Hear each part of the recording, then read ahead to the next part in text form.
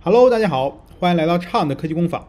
今天我要给大家分享一个完全在本地利用 MLX 机器学习框架运行大语言模型生成内容，同时完全在本地进行模型微调的解决方案。那话不多说，让我们开始吧。MLX 是苹果为 Apple Silicon 芯片打造的机器学习框架，而且针对 Mac 的统一内存进行了优化。Mac 用户可以借助 MLX 在 Mac 上进行机器学习编程，运行大语言模型，或者进行 fine tuning。这是 Apple 为性能过剩的 Apple Silicon 芯片群的设备打造的 AI 时代的入场券。如果你还觉得你的 M 芯片的设备无法发挥全部的性能，如果你从来没有听到过 MacBook Pro 的风扇声，那么 MLX 一定可以满足你。那么话不多说，就让我们一块来看看怎么使用 MLX 框架吧。MLX 是专为 Apple 的 M 系列芯片打造的机器学习框架，所以使用它的前提是你必须要使用苹果 M 系列芯片的 Mac 电脑。当然，由于它会依赖于 GPU，GPU 单元数当然越多越好。另外，最好是 MacBook Pro 带有风扇。这样进行 fine tuning 的过程会更加从容。我的这台 Mac 配置是 M3 Pro 十一核 GPU，十八 G 的内存。在我购买之初，我觉得可能有一段时间内存是够用了。直到我在 Mac 本地使用 MLX fine tuning 大语言模型的时候，才发现十八 GB 根本就是个弟弟。好了，然后我们一块看看如何安装 MLX 这个框架吧。其实安装过程很简单，只需要你设置相应的 Python 的虚拟环境，然后并且运行 pip install 啊 MLX 就可以了。然后呢，前提是你必须是一个 M 芯片的一个 Mac。然后同时呢，你的这个 Python 版本是高于三点八，并且 Mac OS 版本大于十三点五。我相信，如果是你用一个 M 系列芯片的 Mac 电脑的话，这些要求都很容易满足。那打开它的这个 GitHub 的页面呢，大家可以看到，其实它有不同的一些内容。那这个是 m x 主要的一个呃 repo。那你也可以去进行这个 MLX example 里面的去看一些相应的事例。啊，或者一些相应的数据，大家可以看到这里面有不同的一些模型，LM 呀、，Laura，相应的一些模型的工具吧。啊，也可以去进行一个啊尝试的使用，看看有没有啊符合你要求跟需求的一些工具的示例。那同时，其实我们仅仅使用 MLX 啊，它可以进行一些这个机器学习的编程。但是呢，如果你想使用在本地使用大语言模型去运行输出内容的话呢，这时候呢，你要借助另外一个工具叫 MLX 横杠 LM 啊这样子一个 Python 脚本的工具，然后帮你去运行相应大语言模型。同时呢，你需要啊连接 Hugging Face。啊，因为这个工具呢会从 Hugging Face 上面呢下载相应的模型到本地进行运行，所以你也需要一个 Hugging Face 的连接。OK，让我们一块看看如何使用 MLX 啊这个框架在本地运行大语言模型吧。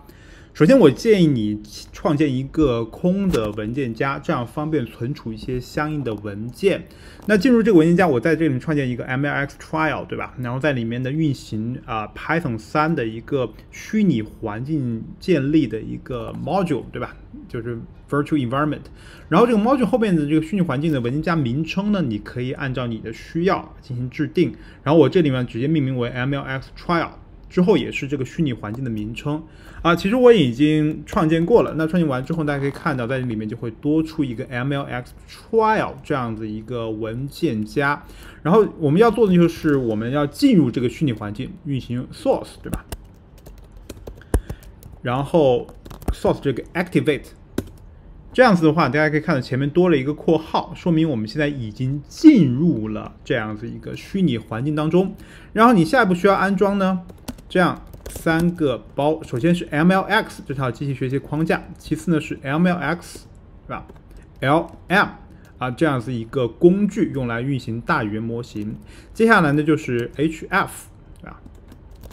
Transfer，就是 Hugging Face 的下载工具。因为我们所有的大语言模型，它都是通过啊 Hugging Face 的那个呃 Hub 去拉取，然后存出来本地再进行运行的啊。首次的时候，当然你第二次如果你拉取完了，第二次再运行的时候就不需要。啊，再次从 Hugging Face 上拉取这个模型的文件了，但第一次的时候是需要，所以说我们需要安装 Hugging Face Transfer。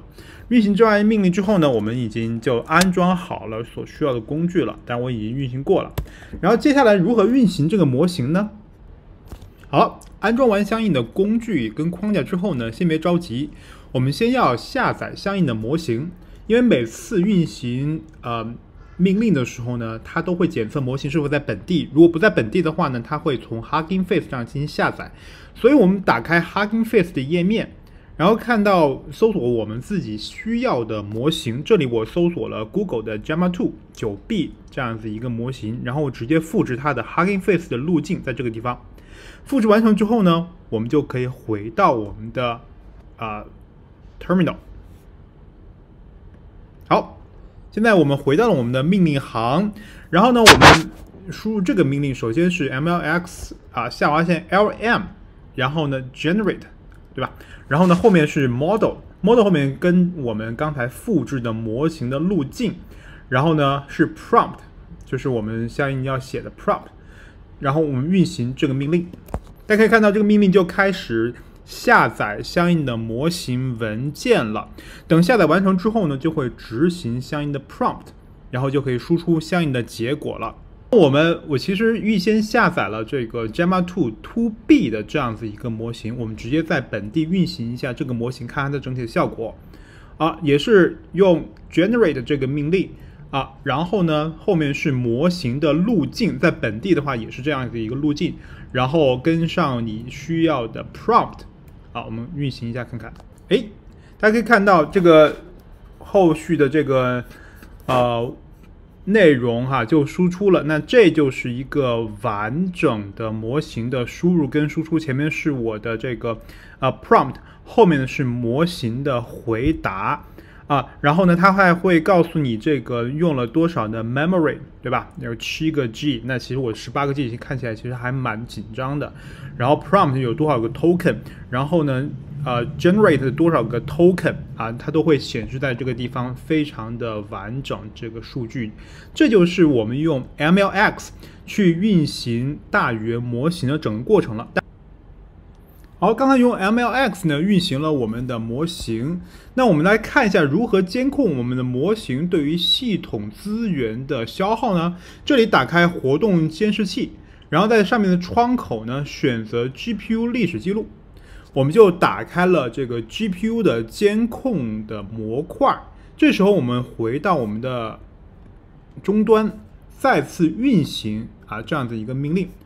我们回来看看我们这个对于系统的消耗是一个什么样的情况。大家可以看到，就是我们运行命令之后，它对于 GPU 的消耗啊已经接近到。百分之百，这应该有百分之九十五、九十六的这种情况，当然时间非常短呢，因为我们整体生成 token 的过程非常短，因为我们的 prompt 是一个非常简单的 prompt，所以说在短时间内，它对 GPU 占用率非常高，然后呢，结束之后呢，GPU 的占用率就会回到正常相对较低的一个水平了。所以看一看，大家可以看到 MLX 这个。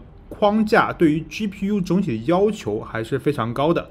那稍后呢，我再来给大家介绍一下如何进行 fine tuning。那这个过程当中，其实对于内存消耗同样是非常大的。MLX 这个框架除了能够在本地运行大语言模型之外呢，还有一个很棒的功能，就是可以在 Mac 本地运行大语言模型的 fine tuning，也就是模型的微调。简单来说，Fine Tuning 是利用现有的预训练过的模型，经过一系列专业知识的数据训练，来快速的适应特定任务的一个过程。这比从头开始训练一个新的模型要快得多，效果更好，而且成本也比从头训练一个模型要低得多。我们目前见的比较多的 Fine Tuning 的方案都是由大语言模型服务公司提供的，例如 OpenAI、微软。Google 等等，而今天我来介绍的是利用我们的 Mac 在本地运行大语言模型，简单高效。数据呢也是由 Ollama 完成的，利用 Ollama 加 MLX 这套框架，对于大语言模型进行完全本地的微调的方案。开始 fine tuning 之前，我们需要选择基础模型。这次我使用的是 Gemma 2 2B 这样一个模型，原因还是由于我的 Mac 目前只有十八个 G 的内存，资源相对比较有限，小一点尺寸的模型速度会快很多。不过，也就是开始尝试本地的 fine tuning，才让我的 Mac 风扇终于有了用武之地。那我就先用这款模型给大家演示一下如何用 MLX 进行本地的 fine tuning。好，接下来我们来准备一下微调的数据。最近呢，我在教我们家小朋友自然拼读，所以每次上课之前呢，我都会让 Google Gemini。帮忙生成一篇包含了本次课程内容的儿童可以看懂的文章，还有文章的 quiz，方便孩子在课后巩固知识和练习。今天我又用其中的一篇文章作为数据的来源。那么这篇数据呢，要如何处理成可以进行 fine tuning 的内容呢？这时候我们就要借助 Ollama 和 Lan Chain 了。好了，让我们来开始处理数据。在这之前呢，我们先来看看 MLX 在 fine tuning 的时候对于数据整体的要求。首先，它会需要你生成三个、两至少两个或者三个相应的数据文档，分别 train、valid 啊，有时候也会需要 test 啊。建议这三个文档都需要相应的生成，这第一个。第二的话，它的数据的形式呢，分别有三种，分别是 chat、completion 跟 text。那至于这个不同的模型，它其实除了这个内容之外啊，还有一些相应的格式，比如说 row 啊、content 啊，或者其他一些格式。你如果非常清楚某一个基础模型 base model 的这个格式的话呢，你可以使用 text；但如果不清楚的话呢，你可以用 chat 或者 completion。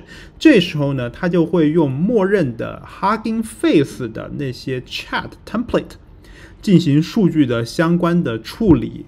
那在这里呢，因为我用了 Gemma Two 这样一个模型，那我比较清楚它整体的这些关键词的格式，所以说我会用 text 这种形式进行相应的啊数据的体现跟处理。那我们怎么才能知道这个模型它的数据的格式是什么样子的呢？很简单，有两个办法。首先，第一个办法用 Ollama。如果你欧拉玛已经安装了或者是拉取了这个模型呢，那我们就可以用欧拉玛 show 这个命令，你就可以看到它有这样子一些特定的起止符啊。还有一种办法呢，也是很直接，我们刚才用 MLX。运行了大语言模型，我们看一下这个输出的结果，在结果里面呢就会有相应的内容，大家可以看到，这就是一个完整的输入跟输出，那这些三角括号就是它的相应的关键字了，那这些关键字我们就会在微调 Gemma 2的时候包含在我们的数据里面。好了，让我们一块看看如何处理我们的数据吧。数据处理过程呢，我们用到了 PDF 的 Reader，还有 LangChain，这样子可以用欧布拉玛来处理相应的数据。所以我在处理之前呢，需要安装这些 Python 的包。那这些内容呢，我也会放到视频下方供大家取用。好了，这个包安装完了。那除了安装这些应这些工具包之外呢，还建议大家在这个目录下面创建 data 这样一个子目录，用来存储我们的数据文件。好了，建建立完这样目录之后呢，我们来看看处理的流程代码是什么样子的。好了，安装完所有包之后呢，我们打开 question generator 这样一个脚本。其实这个脚本的流程呢，我先跟大家介绍一下。呃，其实流程很简单，它怎么去生成数据呢？首先，它会读取这个 PDF 文档，读取完之后呢，它会把这个 PDF 文档进行语义的分块，分块完成之后，它会把这每一块的文本数据给到欧拉玛，这是第一条 chain 给到欧拉玛，然后请欧拉玛根据这个文档内容生成多条问题。生成完问题之后，我们会引用第二条 LangChain，会把这个问题再次给到欧拉玛以及对应的这些文本的内容。再次给到欧拉玛，欧拉玛会根据问题以及文本内容生成相应的答案。这样子我们就获得了一个问题和答案的对，然后我们再把这个 Q&A 的 pair 给它按照格式放到对应的文件当中。这样就完成了我们数据的准备了。因为我们在微调的时候，我们用 prompt 都是 Q&A pair 这样一个形式进行微调的，所以说通过这种方式就可以把我们手头的文本，任何形式文本，转换成这种 prompt Q&A 的 prompt 格式，给到大语言模型进行微调。那我们看一下这个代码的细节。首先，我们需要 extract 所有的 PDF 的文本内容。extract 出来之后呢，我会首先进行语义的分块，然后另外在这个地方，因为我语义分块需要用到 embedding，所以我也用了 o l a m a embedding。当然你可以用 OpenAI 呀，用 Google 啊，对吧？都可以。但是因为我们所有本次的处理过程都是在本地完成的，所以我这次呢也用了 Ollama embedding 进行相应的处理，这样子我不用引用任何。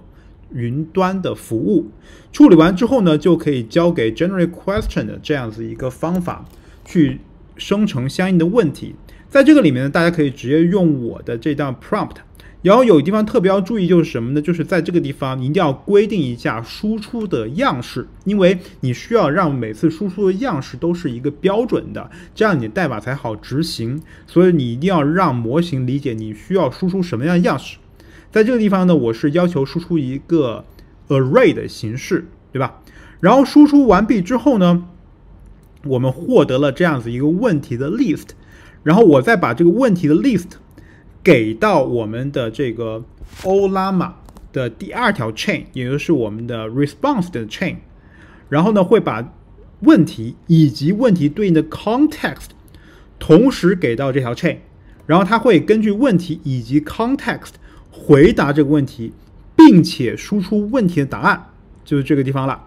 然后获得答案之后呢，我会就这个模板生成 Z JSON L，有 JSON Line 这样子文件的内容，并且存储到相应的文件当中。那这个 Q&A Pad 生成模式呢，就是这样子完成跟进行的。最后呢，在生成完一个 train 的 JSON L 之后。因为大家还记得，我们需要三个文件，一个是 JSON train，一个是 valid，一个是 test。那在这个地方呢，我就会对这些文件进行一个拆分，基本是大概是个一个一个百分之四十这样的一个一个一个比例吧。啊，把这个 train 文件里面的数据呢，分别分配到那个 test 以及 valid 这两个文件当中。啊，这样子的话，我就生成了三个用来进行 fine tuning 的数据文件了。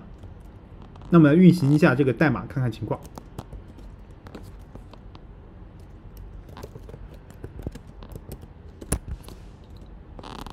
好了。这时候我的 Q&A 的 pair 已经生成完毕了，大家可以看到，这是我让代码打印出来的问题的列表。那首先可以看到，每次输出的格式是完全一模一样的，所以方便我的代码进行相应的处理啊，这点大家一定要注意。第二个话，大家可以看一下这些问题的形式，它有一般疑问句，有特殊疑问句，对吧？所以说它的问题的丰富程度是非常多的。这是我们在写 prompt 的时候啊，一定。希望这个大语言模型就这个上下文提出尽量多样式的不同风格的问题，这样才能照顾到这个内容的方方面面。这样子啊，对于你的模这个模型的微调数据质量上来说的话，就会非常的高啊。然后处理完之后呢，我们再看看相应的答案都是什么样子呢？我们直接进到我们的 data 文件夹，可以看到我们现在生成了三个。不同的文件都是 JSON-L，用于微调。我们打开一个看一下，我们直接 cat 吧，valid。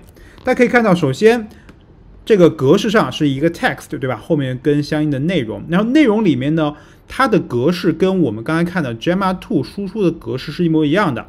首先是 boss use，对吧？然后呢，每段对话的开头就 start of turn，然后呢，角色 user，对吧？然后呢，end of the turn，然后再 start of turn model 是这样子一个对话的格式，所以大家一定要注意，在这个格式上一定要匹配到你的基础模型。那你如果不知道的话，可以按照刚才方法去查看一下格式是什么样子。当然，你也可以去到 Hugging Face 的页面上面看看它的格式，或者去 Ollama 的页面上面去看对应的模型的格式。那这个呢，就是一个比较完整的 Valid JSON L 的一个文本的内容了。当然，Train 啊、Test 它们都是呃内容的格式都是一样的啊，方便这个呃微调的时候。啊，框架进行相应的取用。那截止目前为止呢，我们整体用来训练的数据就已经准备完毕了。下一步，我们就可以开始大语言模型的微调了。好了，那准备完数据呢，我们就可以启动微调了。那微调的话，命令也很简单，只要运行 mlx 下划线 lm 点 lora。啊，然后呢，后面的参数第一个是 model，对吧？然后呢，就是我们需要运行的 model，然后呢，train，啊，就是我们需要根据的它的这个呃，就是微调的方案哈，它就是 train，然后你也可以写 test valid，对吧？然后对模型进行这个呃测试啊，或者是甄别之类的。然后 iters 呢，就是你需要微调的这个迭代次数。啊，你可以设置不同的迭代次数，然后呢，后面的 data 呢，就是我们这个存储，呃，我们微调数据的文件夹了，就是刚才我们建的那个微 data 的文件夹。那其实这个地方呢，我还是建议大家，大家可以用这个命令去运行了，这个完全没问题。但我还是建议大家尝试使用一下 YAML，对吧？我们这里有一个 YAML，就是我们在微调的时候可以把所有的参数呢在 YAML 里面进行体现，而这个地方可以设置一些。这个 LoRa 的超参数啊，我们来一块看几几个重点参数。首先，model 这跟刚才那个 model 是一样，就是我们需要微调的这个基础模型。然后呢，数据的文件夹。然后这个 seed 呢，就是我们在微调的时候的一个伪随机数。那你如果想重现一些微调的现象的话，那你可以取相同的伪随机数。然后 LoRa layers 就是我们 LoRa 需要有多少层。然后进行相应的微调，然后呢，batch size 呢是我每次微调的时候，这个数据它每次送多少个，呃，然后还有 iters 就是跟刚才一样迭代的次数，在下面呢，learning rate 学习的这个呃比例呀，然后还有一些细节的一些超参数，比如说这个地方是 adapt 是我们最后微调出来之后这个。存储的路径在什么地方？就是微调出来之后的 depth 文件，还有这个地方就是一个 checkpoint 的这个存储的呃这个迭代次数，比如迭代两百次之后，我们存储一个 checkpoint，对吧？然后还有这个地方进行 test，就是我们微调完之后是否进行一个 test。然后呢，还有下面的一些，比如说这个呃 gradient checkpoint，对吧？就是是否增量去进行一个 checkpoint 的存储。然后还有这一些超参数，比如说 keys，就是我们微调需要影响的一些关键的层啊，transformer 里面层，那会在这个地方进行体现。然后还有这个微调你一个你这个矩阵，对吧？你你大概是一个什么样 rank LoRa 的话，然后 scale 呢，就是你这个呃。参数的数量跟原先参数数量之间的一个比例，对吧？然后呢，还有 dropout，dropout 就是说我们不想让我们微调的这个呃模型呢跟数据的过度拟合，那我们可能会设一个 dropout 的比例，这样子的话，它可能就不会呃过度拟合，会有一些随机的一些呃数据呢会掺到进去，或者从里面。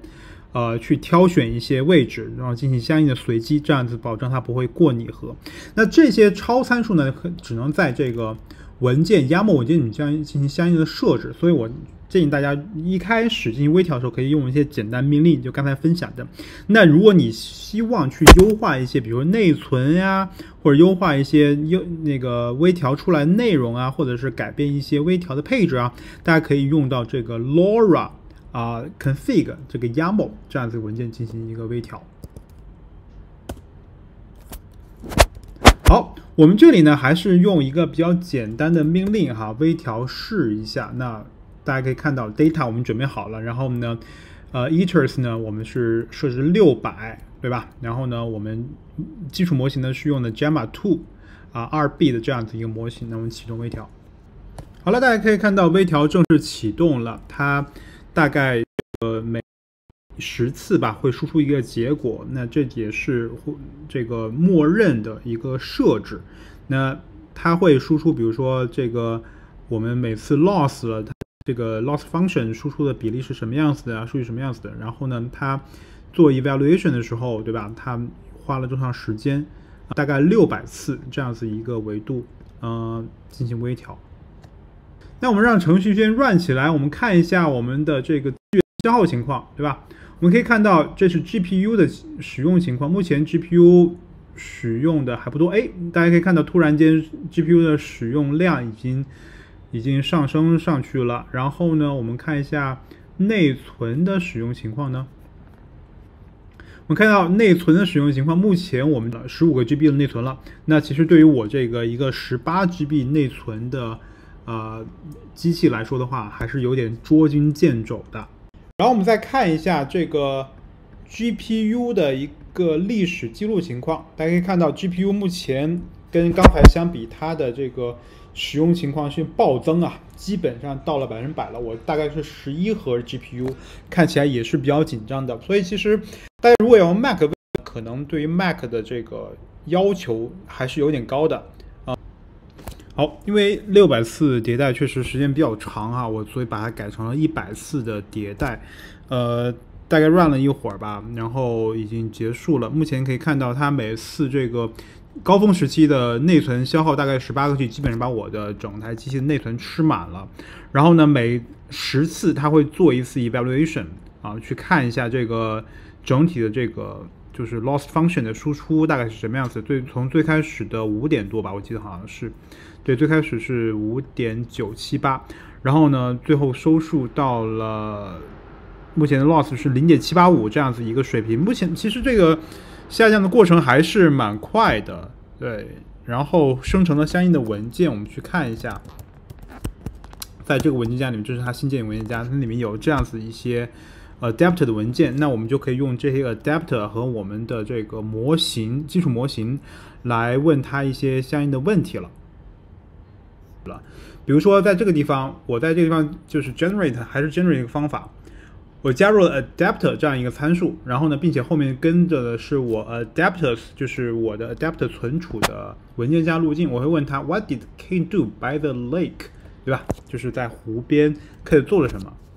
好，这样子模型呢就会根据它刚才训练的数据呢去回答我的问题。Kate，他 did all the fun stuff，他做了很多开心的事情，对吧？然后在湖旁边，然后回答我的问题，这也是从刚才那些 context 里面学到的一些内容。